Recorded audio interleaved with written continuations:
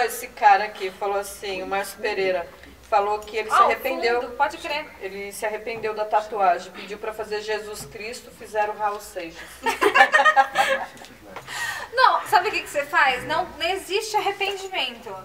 Você vai e começa a curtir o Raul Seixas. Aí você fala, ó, curto o Raul Seixas pra caramba.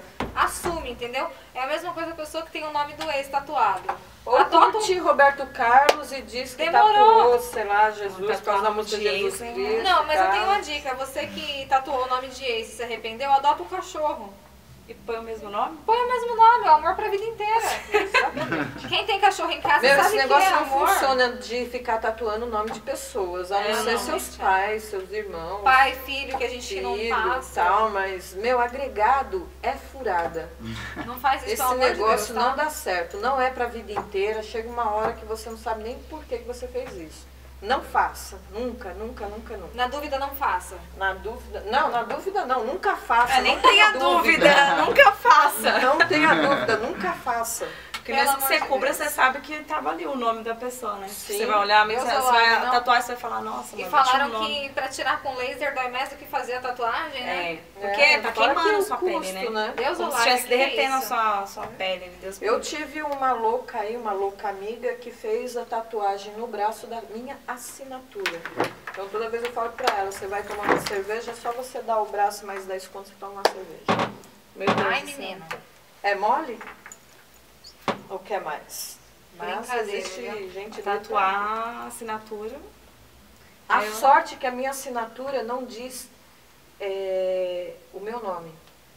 É só uma assinatura. É uma assinatura, mas que as pessoas olham e deduzem várias coisas. A única coisa, o agravante que tem nela, são os três pontinhos. Então, quando ela foi fazer a tatuagem, o tatuador falou assim, você sabe o que significa esses três pontinhos? Ela falou, não. Eu falei assim, então acho melhor você procurar saber. Aquela, né? Você tava, cuidado. Os três pontinhos tá em aí, ó, sei lá, fechando melhor acordo você com alguém procurar e tá saber. Eu falei assim, você quis fazer, não quis, fez, não fez, agora dane-se o que, que significa esses três pon- pontinhos. Te garanto que é algo bem pesado. Indiferente.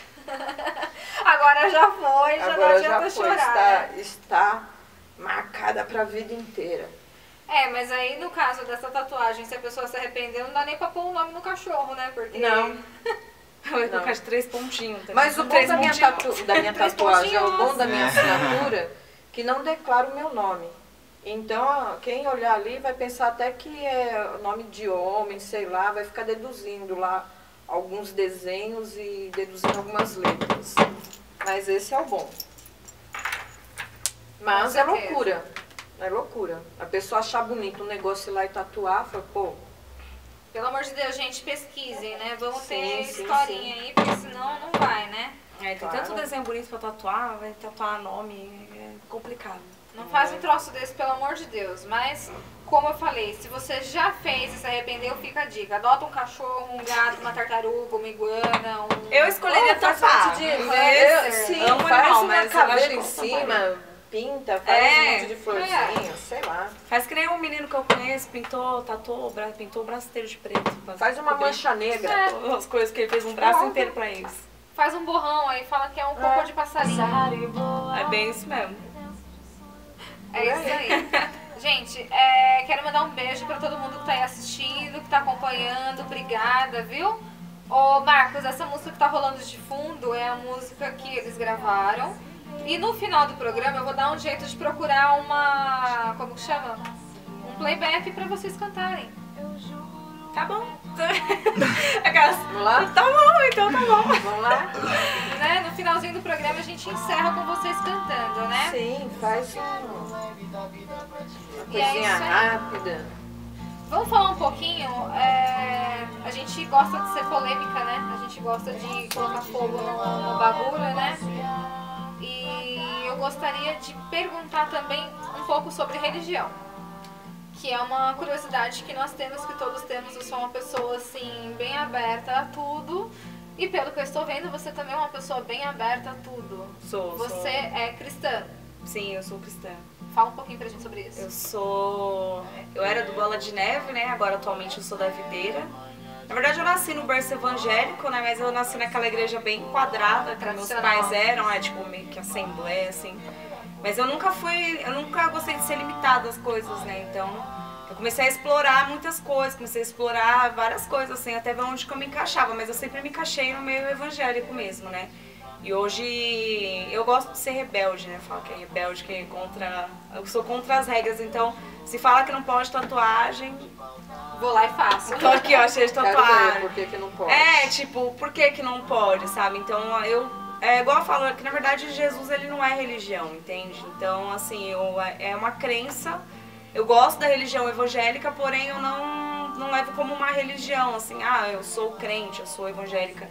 Eu acho que eu levo mais como, assim, realmente pelo amor que eu tenho por Deus, e Deus é um só, todo mundo segue a mesma coisa. E Jesus nunca falou, assim, Deus nunca falou assim, ah, segue tal religião que você tá correto, né? Ele falou assim, meu, segue a mim e aí tá certo, faz o bem e tá tudo certo. Sim. Então eu acredito Eu, nisso. eu sou assim, eu não, eu não gosto de religião e não gosto de igrejas. Eu acredito em Deus, em Jesus, acredito, embora eu seja um bandista, mas eu não levo como religião, porque eu, eu ouço todas. Eu tiro de cada um aquela coisa mais interessante. que Pedacinho daqui, um pedacinho, pedacinho daqui, dali. E, e a gente vai tocando, é isso aí. Você já cantou? Jesus, Deus não é religião, ele está em todos os lugares. Exatamente, Basta a né? gente crer. Sim, É tão grandão, né? E o povo limita A gente tem que tanto. fazer o bem, a gente tem que praticar o bem.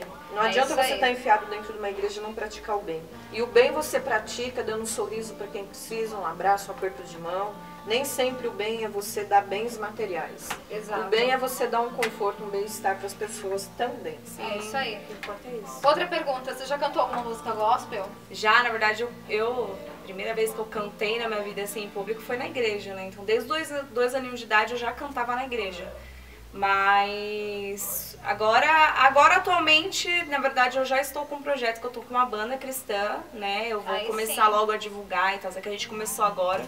Vem divulgar aqui. Ah, com certeza, a- gente traz a traz a banda. banda, vai tocar. A banda chama Geração Yeshua, né?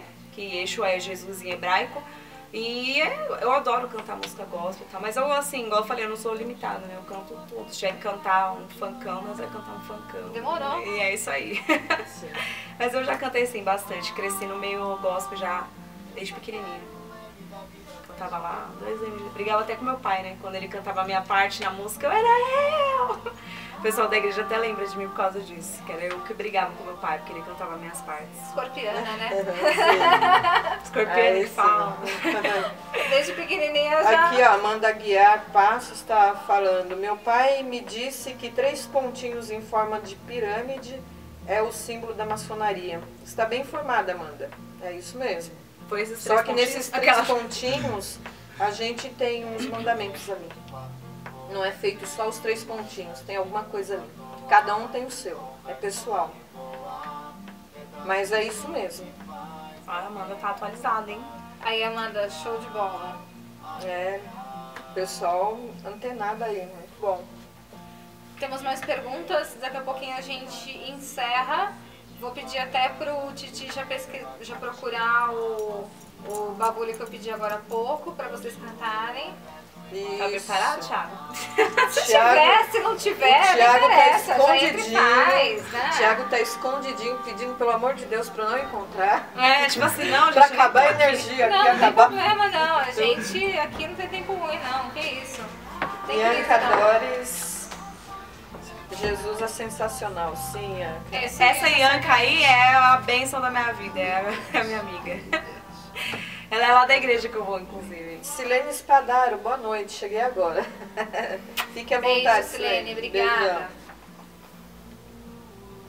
que mais, que mais, que mais? Pessoal, que quiser ligar também, lembrando, né, que eu acabei me empolgando um pouco, até esqueci de falar que nós temos um telefone, é o 2600-7180. Quem quiser ligar, pode ligar também, né, patrão? Pode instalar o aplicativo também, o aplicativo da Talito News, que é, você vai lá no Google Play, na Apple Store, procura lá E Talito News Baixa lá.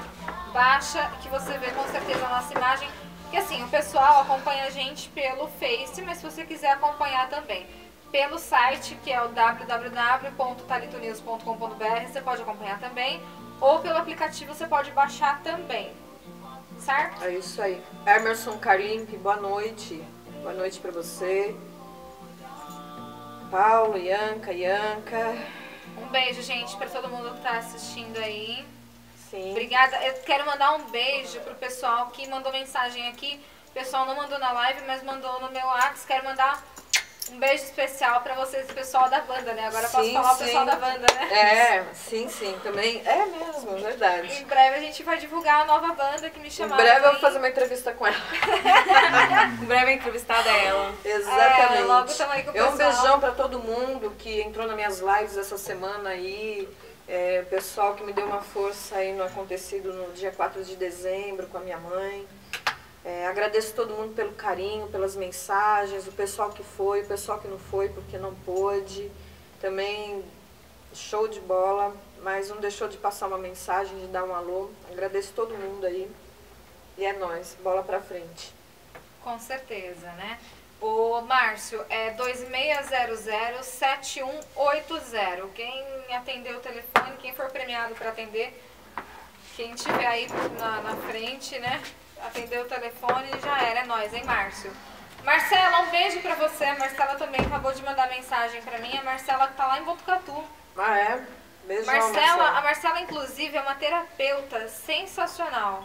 Ela faz reiki, faz cromoterapia, ela faz várias coisas bem legais. Em Aí breve, sim, Marcela. em breve ela vai estar por São Paulo, que ela tá lá em Botucatu e a gente Aí traz dá ela. um. Vamos caçar a Marcela pra vir aqui e falar um pouquinho sobre reiki. Ela já tá intimada. Sim, adoro isso, Marcela, adoro. Faz a diferença, viu? Ela já tá intimada com certeza, né? Quero mandar um beijo também pro meu médico, Dr. Fernando Requena. Um beijo no coração, doutor. Eu tô com saudade. Graças a Deus faz tempo que eu não passo por lá. né? Porque quando a gente começa a passar muito no consultório é porque algo de errado não está certo. É bem isso mesmo. Ih, doutor, vai ficar mais um tempinho sem ver a Carol, hein? Puxa Nossa, ó, vida. Graças a Deus. Mas vem aí falar um pouquinho, vem dar uma entrevista aqui pra gente, vem falar um pouquinho sobre essas alternativas da medicina. Ele é ortomolecular, iridologista, Sim. homeopata, ele é sensacional, show de bola, ele é quase um É milagreiro. válido. Ele é Conheço. muito é bom muito mesmo. Vem aí dar uma palhinha.